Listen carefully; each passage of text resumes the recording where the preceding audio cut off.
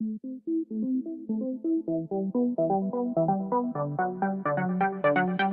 you.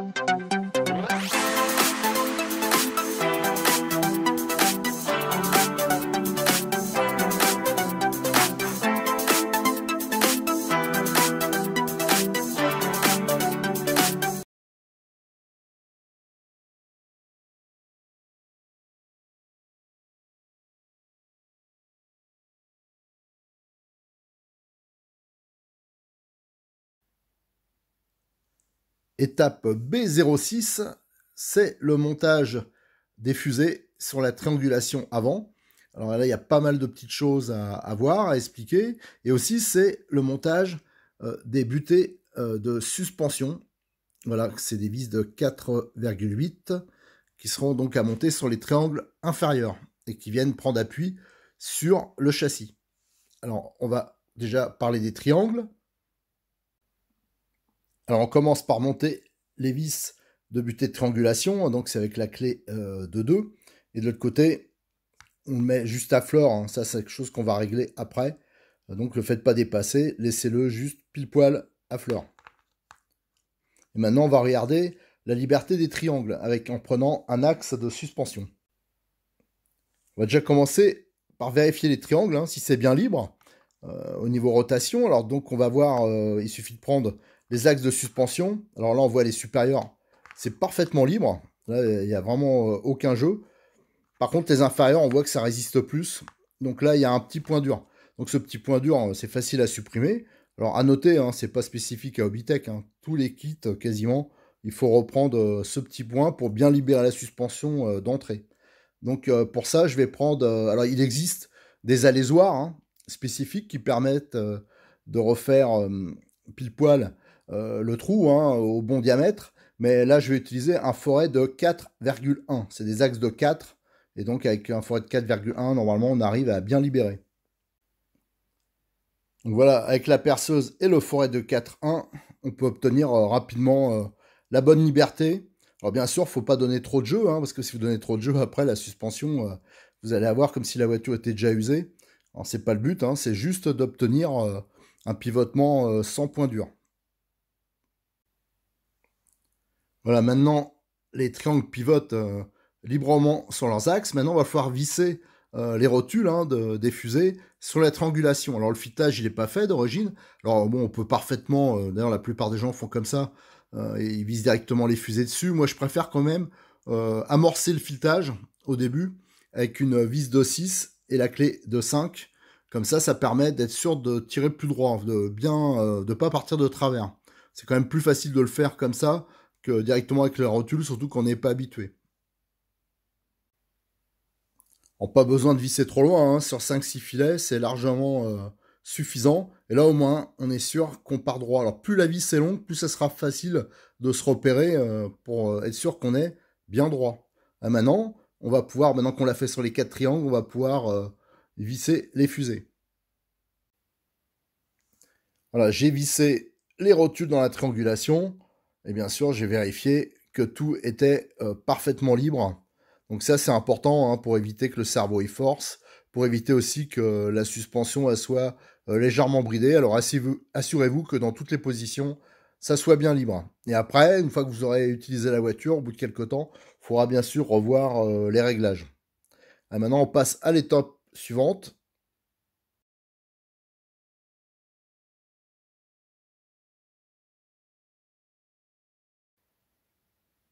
Étape B07 qui correspond à l'assemblage final de la cellule avant. Là, on retrouve déjà des éléments qu'on a assemblés précédemment, comme les demi-trains, comme le différentiel, la demi-cellule avec euh, son pignon d'attaque. Et là, donc, on a besoin du couvercle hein, qu'on a aussi ébavuré, ainsi que les inserts. Alors pour les inserts, on peut voir qu'il y a plusieurs sortes. Hein. Il y a ceux-là qui sont centrés, c'est les 2 degrés. C'est ceux qui sont préconisés par la notice. Hein, euh, donc on va en utiliser 4. Et ça, c'est ceux qui sont décalés, on peut voir, en les inversant, on a soit la position 1 degré ou 3 degrés. Donc on peut voir, c'est assez simple d'utilisation. Ici, c'est les vis qui permettent de fermer le couvercle de la cellule. Donc ça, c'est la vis d'origine hein, qui est préconisée, la 318. Mais moi, je vais utiliser plutôt celle-ci, c'est une 3,18 aussi, mais avec une tête cylindrique. Donc l'empreinte est plus profonde. Moi, je préfère parce que c'est un endroit qui est pas mal exposé aux projections, la boue, tout ça. Donc euh, c'est quand même bien d'avoir, euh, ça évite de trop gratter, euh, voilà. Donc pour moi c'est plus facile, c'est la référence 1438 chez Cyril. Après on a les cales de suspension, alors ça c'est un gros progrès par rapport au RTR. D'ailleurs j'ai une cellule là de RTR qui est juste là, vous voyez, d'origine sur le RTR, c'est des cales en plastique et qui sont vissées directement dans la cellule. Tandis que là c'est des cales entièrement en alu, avec des axes et des inserts de réglage. Et surtout, la grosse différence, c'est que vous avez ces beaux axes là, voilà, qui sont euh, qui traversent complètement la cellule. Voilà. Donc c'est fixé et vous avez le knee stop qui vient se loger là et qui permet donc euh, de fixer euh, correctement et même d'ajuster un peu la pression sur la cellule. Donc ça c'est quand même un gros progrès par rapport au RTR. Et maintenant on va assembler le reste. Alors j'oubliais juste la graisse hein, qui sera nécessaire pour euh, graisser le coupe conique.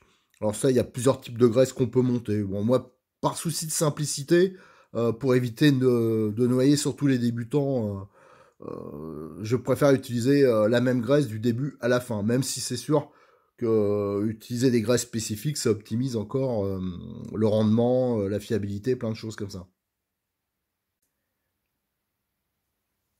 Alors j'ai mis en place le Nistop hein, dans son logement, sur la cellule côté euh, pignon, et on va pouvoir mettre le différentiel. Alors ce qui est bien, c'est qu'il y a un seul sens, on risque pas de se tromper. Voilà, hop, ça rentre pile poil. Et ce qui est bien, c'est qu'il n'y a aucun calage. Parce qu'il y a beaucoup de marques hein, où il faut mettre euh, des rondelles euh, de chaque côté pour avoir le bon calage, le bon jeu. La transmission chez Obitech, non, il n'y a pas besoin de ça. Alors pour l'avoir testé sur le RTR, il n'y a aucun problème le jeu est vraiment euh, nickel. Hein. Pour moi, c'est un plus. Et pour les débutants, c'est souvent un casse-tête un peu. Alors, pour le graissage, je vais pas le graisser tout de suite parce qu'après, il faut que je redémonte pour faire les photos. Je rappelle, hein, je vous fais aussi les photos sur RCMag où là, je donnerai plus de, précision. Donc, pensez à aller sur le forum hein, pour si vous avez des questions à poser, si vous avez des astuces ou des conseils à donner pour ceux qui utilisent cette voiture ou qui ont plus de connaissances que moi. Ça, n'y a pas de mal. Donc, euh, n'hésitez pas à vous inscrire sur le forum et euh, qu'on puisse échanger ensemble. Après, le couvercle, donc ça, on l'avait déjà ébavuré dans une étape euh, précédente.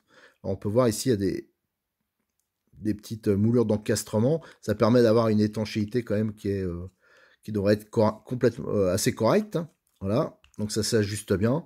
Et là, on va mettre la petite vis, hein. comme j'ai dit précédemment, je l'ai changé. Vous allez comprendre pourquoi. C'est juste parce que je voulais avoir une empreinte. C'est quand même plus facile d'avoir une empreinte plus profonde comme ça. Et donc c'est l'avant, c'est là que vont toutes les saletés. Donc je préfère faire comme ça. Voilà. Donc là, je vais pas serrer trop fort, même à, peine, hein, je rapproche, ça en serrera mieux après. Parce que maintenant, il faut qu'on mette euh, les cales. Hein.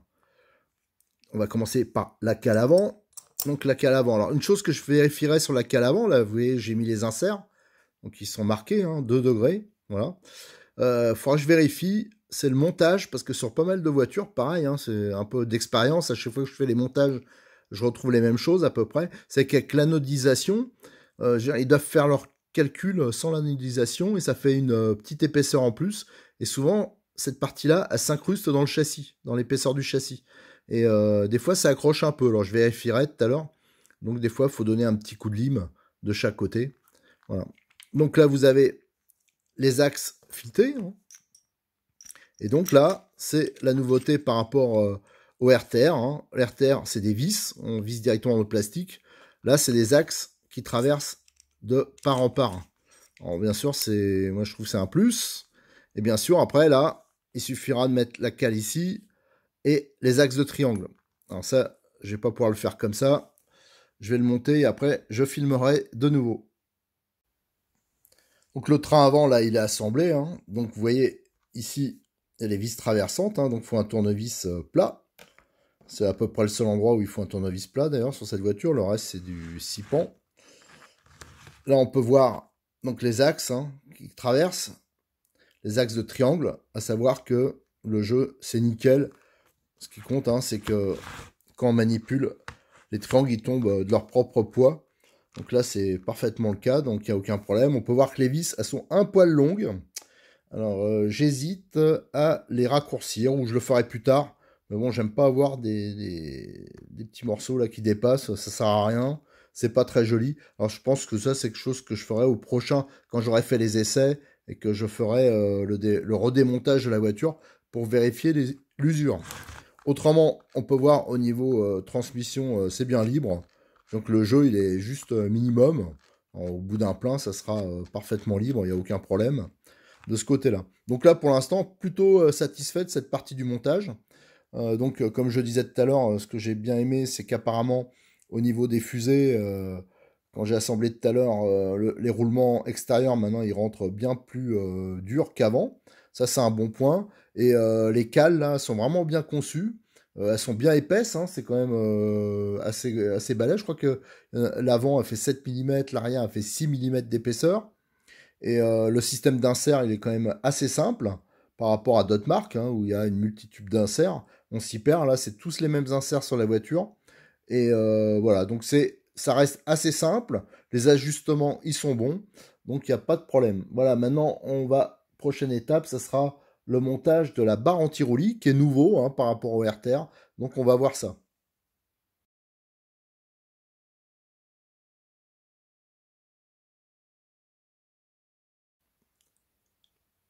Étape B08, c'est le montage de la barre anti-roulé avant. Alors là, on a une barre de 2,5 mm euh, d'origine, mais vous avez une option hein, qui s'appelle euh, référence SPX 152. Et c'est un lot de 5 barres de 2,1 à 2,6 mm et qui vous permet d'ajuster euh, la tenue de route de votre voiture. Alors sur le RTR, c'était des rotules de 6 en acier. Alors là, on conserve, celle-ci reste en acier aussi sur la version RR, mais euh, la partie réglable, hein, ajustable, elle est maintenant en alu euh, traité. Donc ça permet de gagner un peu de poids. J'ai mesuré à peu près 2 euh, grammes hein, sur l'ensemble de la barre. Voilà. Et c'est aussi mieux ajusté, ça on va le voir après. Donc là vous avez l'échappe avec la vis sans tête de 12 qui permet de relier les deux ensemble. Vous avez ici les fixations de barre anti-roulis, donc qui sont différentes euh, que de la version. Euh, d'ailleurs, je vais la prendre avec moi, je l'ai ici. Là, on voit que c'est un système euh, basculant, ce qui permet d'accéder rapidement à la barre anti-roulis. Tandis que sur le RTR, vous voyez, c'était tout à fait différent au niveau fixation. Voilà. Là, donc j'ai monté déjà sur un exemplaire, j'ai monté la vis sans tête. Alors bien sûr, hein, c'est du 12, alors il faut bien faire attention de bien répartir euh, des deux côtés, hein, 6 mètres de chaque côté, et bien sûr de visser bien droit. Là, on a les ensembles montés. Voilà. Donc là, c'est la version euh, du RTR. On peut voir, c'est un peu plus gros en diamètre. Et la grosse différence aussi, c'est que c'est un peu dur. Ici, vous voyez que c'est un peu dur d'origine sur les RTR. Bon, alors c'est pas bien grave, hein, il suffit avec une pince de pincer ici, et après ça se libère. Tandis que sur la version RR, c'est parfaitement libre euh, des deux côtés. Donc vous voyez, il y a quand même plus d'évolution qu'on le pensait. Et si on le regarde de plus près, alors je sais pas si ça se voit bien sur la vidéo, donc euh, celle-ci, c'est l'échappe du RR, et là c'est du RTR. Et on peut voir que la finition est différente. Alors est-ce qu'ils ont revu les moules? Euh, Le grain est beaucoup plus fin. Alors c'est peut-être aussi ça qui explique que les rotules sont d'origine euh, parfaitement libre. Voilà. Là aussi, ça c'est les vis de fixation vis 3,16 fixation de la barre anti-roulis sur le triangle. Alors moi, c'est le seul changement que je vais faire. Je vais mettre des vis tête cylindrique. Moi, je préfère, hein, parce que, comme je l'ai déjà dit, tout ce qui concerne, euh, qui est vraiment exposé un peu à la terre, à la boue, tout ça, euh, pour démonter, moi, je préfère avoir des empreintes un peu plus profondes. Alors, c'est pour ça que je vais monter des têtes cylindriques. Et en plus, elles sont traitées, celles-ci. Alors, je vous donne la référence, hein, pour ceux qui en veulent. Hein. C'est toujours chez Cyril de Medis 34. C'est la référence 14 37 voilà, et ça vaut les 10, euh, j'ai regardé 2,60€. Voilà, maintenant, on va pouvoir monter l'ensemble sur le train avant. Alors j'ai mis en place la barre anti-roulis, et là on voit l'intérêt du système basculant. Hein.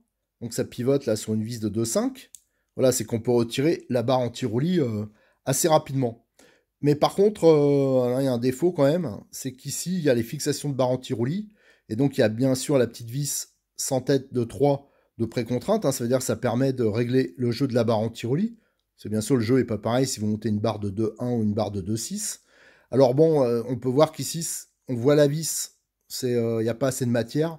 Par contre, j'ai essayé, ça pose pas vraiment de problème parce que c'est pas un serrage, voilà, il n'y a, pas de pression à effectuer, donc c'est juste, ça sert suffisamment pour maintenir le réglage. Donc c'est pas vraiment un problème, mais bon, c'est sûr que ça aurait été mieux qu'il ait pas euh, qu'on voit pas la vis. La barre est montée sur le train avant, et ici on peut voir les vis euh, tête cylindrique hein, j'ai monté à la place des vis euh, à tête bombée.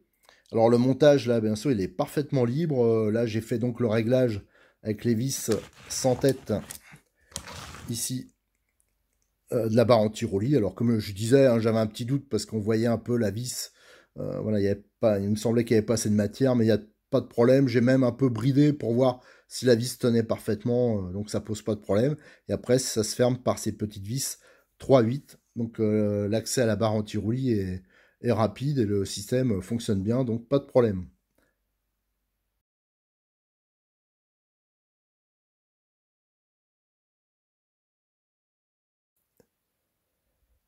Étape B09, alors là c'est le montage du support d'amortisseur avant. Et là, il y a pas mal de changements par rapport au RTR. Notamment, euh, il y a le support avant hein, qui est en carbone de 4 mm, donc il fait 15 grammes. C'est sûr que par rapport au support euh, d'origine en aluminium, déjà c'est beaucoup plus joli, c'est solide. Alors le petit défaut du carbone, hein, souvent, c'est que ça a tendance sur les chocs à s'effriter, à partir un peu en morceaux, à s'abîmer. Et euh, là, Obitech, ils ont une super idée, euh, c'est de mettre ces petites protections en alu. Euh, c'est de l'aluminium usiné, hein, ça fait 1,5 mm d'épaisseur. Et ça, c'est vraiment efficace. Hein. On l'avait monté sur le RTR il y a bah, maintenant un an à peu près. Et ça n'a jamais bougé, c'est vraiment très rigide. Ça, c'est vraiment une très belle pièce. Et il y a beaucoup de marques qui devraient proposer ça aussi. Alors moi, le carbone, j'avoue que j'adore. Hein. Alors c'est un peu passé de mode sur les voitures. À un moment, c'était, euh, il y a beaucoup de voitures qui proposaient des supports en carbone, mais moi je trouve ça déjà c'est léger, c'est joli, enfin vraiment une belle pièce. Après, on a ce qui change par rapport au RTR aussi, c'est la fixation d'amortisseur qui est maintenant en aluminium. Alors euh, c'est une pièce euh, qui est très légère. Hein. Alors c'est difficile à mesurer vraiment, c'est tellement léger, ça fait à peine un gramme, je pense. Et c'est une fixation en alu donc avec euh, une empreinte de 8 mm hein, pour mettre une clé pour le serrage. Et la partie centrale, c'est euh, où il y a une, petite forme de rotule. Elle fait 4,95. Alors ça serait intéressant de voir si on peut le monter euh, sur d'autres voitures. Ça, c'est les fixations 4x16 pour le support avant. Alors ça, je vais le voir dans l'étape suivante, hein, quand je vais le monter sur la cellule. Est-ce que je le change ou est-ce que je mettrai d'autres vis? Je vais voir. Hein. Parce qu'entre-temps, depuis que j'ai fait le montage, j'avais fait une grosse commande de visserie. Je l'ai reçu, alors maintenant j'ai du choix, alors euh, je vais me faire un peu plaisir. Et là, nous avons, alors c'est un petit point que je vais modifier, nous avons ici la vis de fixation des amortisseurs, hein. Et ils ont mis, pour prendre un bon appui, euh, bien sûr sur du carbone, euh, on essaye d'avoir un appui un peu plus large, hein. donc là, ils ont mis des rondelles cuvettes classiques, normalement qui sont faites pour des têtes fraisées, mais bon, ça, ça fait quand même son office, mais avec des têtes cylindriques. Mais moi, je préfère faire un montage, comme j'ai reçu euh, hier, euh, il y a Cyril qui m'a envoyé ça, des rondelles cuvettes spéciales euh, tête cylindrique, et qui sont beaucoup plus larges. Alors là, ça fait un peu le montage comme il y a, notamment sur les Mugen, hein. il y a plein de voitures où c'est monté comme ça. Moi, je préfère largement ce montage-là, donc je vais le faire d'entrée. Et donc, je vous donne les références hein, pour la rouge, c'est la référence 1597, et pour la bleue, c'est 15,98. Et là, pareil, hein, c'est des paquets de 10. Donc ça, c'est un point, euh, ça me paraît sympa de faire ça, quoi. Alors, la protection en aluminium, là, elle est montée sur la platine carbone, hein, ça s'ajuste parfaitement. Et après, j'ai monté les fixations en alu, alors euh, on les maintient avec une clé euh, de 8 mm. Et de l'autre côté, voilà, on retrouve les rondelles cuvettes hein, que j'ai montées à la place euh, des rondelles euh, d'origine. Je vous dis, hein, il y a beaucoup plus d'appui. Euh, donc moi je trouve que c'est un plus, ça maintient beaucoup mieux l'ensemble. Et après, maintenant, on va monter donc les Nistop, on va les insérer dans les logements, hein, dans la cellule. Ici, là, donc il faut les insérer, et là, on va monter la platine carbone. Alors c'est là que je vais voir euh, les vis que je vais monter, je vous le dirai après. Alors j'avais oublié un petit point quand même, c'est le support carrosserie. Hein. Donc le support carrosserie d'origine que voici, hein. donc qui se fixe directement sur la platine. On peut voir ici, euh, a une petite encoche, et ça vient se fixer euh, là. Alors moi, ce qui m'embête un peu, c'est que j'aime bien que ça soit quand même euh, assez éloigné du support. C'est toujours un plus. Alors bien sûr, on peut monter comme ça, hein, ça va très bien. Mais comme, comme j'ai déjà dit, je la monte pour moi, la voiture, donc je fais mes petites bidouilles au passage. Donc moi, je vais monter un support, soit je monte un support du type sismique, comme ça. Alors ça, c'est le modèle arrière. Hein. Donc là, bien sûr, il faudra enlever la partie caoutchouc parce que ça sera euh, trop haut, déporté. Ou soit, je monterai toujours un plot sismique, caoutchouc, donc souple, sur cette fixation ici, qui visiblement, je crois, n'est pas utilisée. Donc euh, peut-être que je vais le monter là-dessus. Alors ça, je le verrai après. C'est pour ça que je ne vais pas monter le plot euh, tout de suite sur le support amortisseur. Le support d'amortisseur, il est fixé sur la cellule. Alors, j'étais pas encore décidé tout à l'heure sur le mode de fixation, mais là, j'ai préféré prendre des vis tête fraisée, un des 318, référence 1423 euh, pour ceux qui seraient intéressés. Et j'ai récupéré les rondelles euh, cuvettes, hein, qui sont de la même couleur que le support, euh, la, protection du support d'amortisseur, et qui normalement se montaient sur les vis de fixation des amortisseurs. Voilà, comme j'ai fait un autre montage là aussi, je les ai plus récupérer, donc ça reste dans la même teinte. Et là, la fixation, je trouve qu'elle est quand même plus propre le montage d'origine. Bon, enfin, ça, c'est vraiment des bidouilles.